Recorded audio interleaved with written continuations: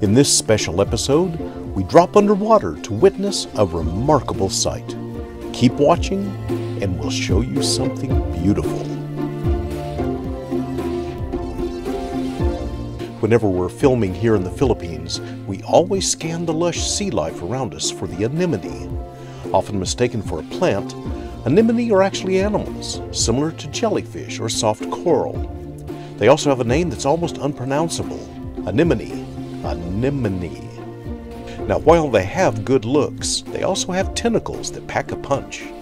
Those hypnotic, wavy tentacles sting and disable prey that get too close.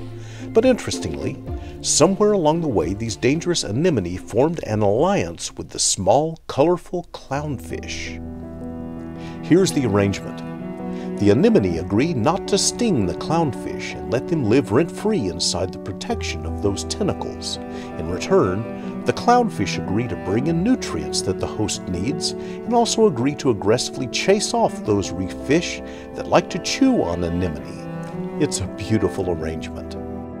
Clownfish and the anemone happily cohabitate and spend their time engaged in an elegant dance.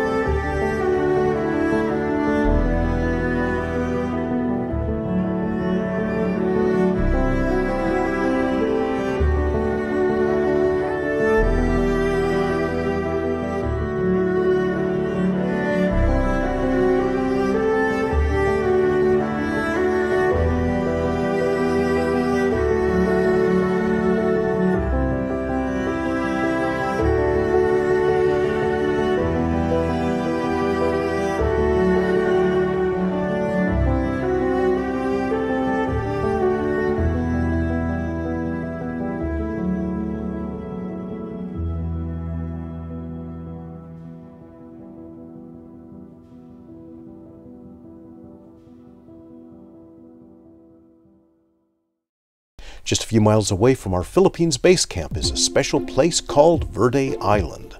It's been named a UNESCO World Heritage Site and is considered one of the most important and beautiful underwater habitats in the world.